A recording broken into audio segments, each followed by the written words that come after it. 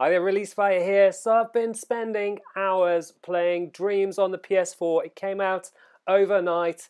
It's uh, it's pretty epic what you can actually achieve. However, there's a huge learning curve. But I'm going to try and condense everything that I learned into these kind of short videos to give you a bit more of an understanding of A, what the game's about, and B, what you can actually get out of the game itself and what you can do. Hopefully the videos are going to help you out. If they do, drop me a like below. But to start with, I'm just going to give you a bit of an introduction to the game itself. And you start by choosing an imp. And an imp is essentially your cursor. Now you can choose from a whole range of different imps. You choose the one that you're most happy with and that's what you'll use to actually move and shape things in the game.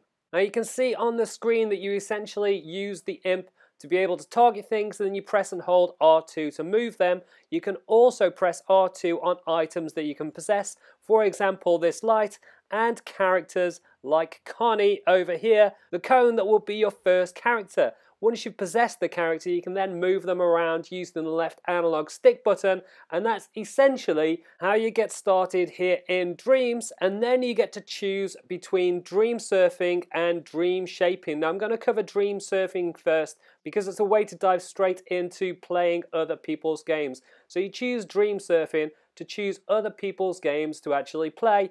For example, there's Art's Dream, which is like the official sanctioned game within the game itself, and there's a whole load of others. And crazily enough, somebody has actually created a Mario character in a level that seems to work pretty well. So I thought I'd give you a quick demo of that just to show you the sheer extent of the possibilities you can do in Dreams. You can see it's pretty realistic, it's pretty accurate to Mario's actions. You can do the triple jump, so you can see there's lots of potential to actually do things here in Dreams on the PS4. And that leads you into dream shaping itself, which is creating in dreams. Now to start with, there are certain things that you can do. You can move the camera using the right analog stick button, and you can also move your imp using the left analog stick button, both forwards and backwards and left and right. So when you combine that with the camera, that's your best bet of moving around. But the one thing that you need to remember to do is to strafe. And you do that by holding down L1 and moving the left analog stick button, and then you can strafe it any direction. Another cool thing not to forget is the zooming capabilities and essentially you grab something with R1 and you use the left analog stick to zoom in and out by pushing up and down or you can grab onto it using R1 and use the left analog stick or the right analog stick to spin around it using left and right directions. Once you get full access to your home space, things start to unlock a little bit in the game and you're able to do more dream shaping.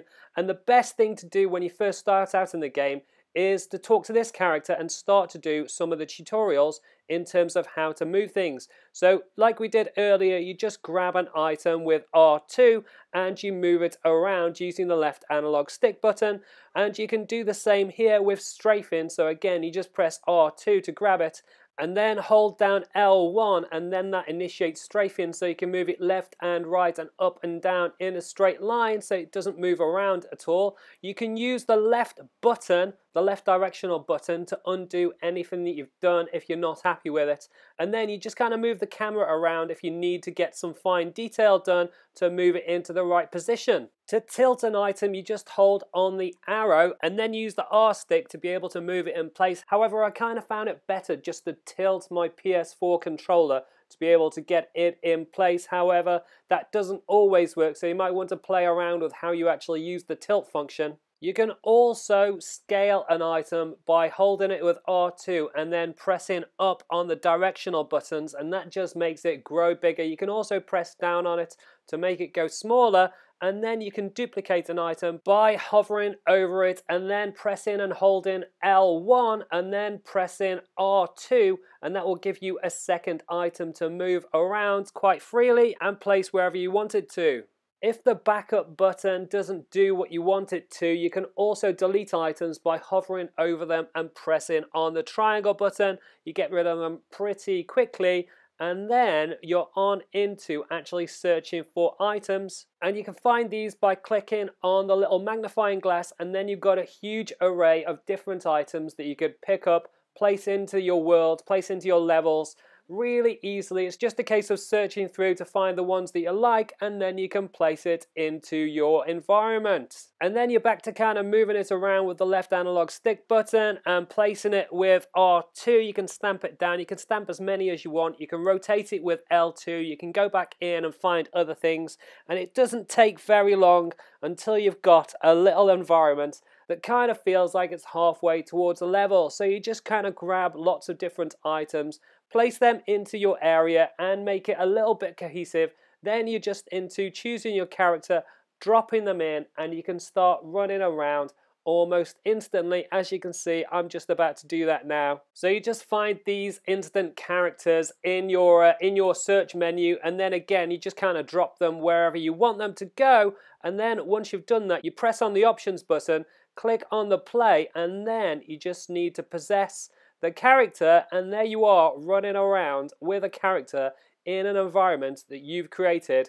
And it really doesn't take long before you've created something a little bit like this where it actually feels like a proper game level that you can jump around, make it through to different platforms. This probably took me around about half an hour to create, not too long to create something that genuinely feels like a half decent little bit of platform jumping for, for kind of like the very start of a game. And that's it. That's my short and sweet introduction to Dreams on the PS4, including moving and placing items, camera movement, and setting your character in a world. Hopefully the video helps you out. Like I said earlier, if it does, drop me a like below. You can also subscribe to the channel if you haven't already with the links on the left hand side and hit that bell button if you want to get notifications for all of my videos as they come out. You can check out the rest of my guide for Dreams on the PS4 with the links on the right hand side. I'll be covering everything in the game. Leave any comments and I will catch you next time.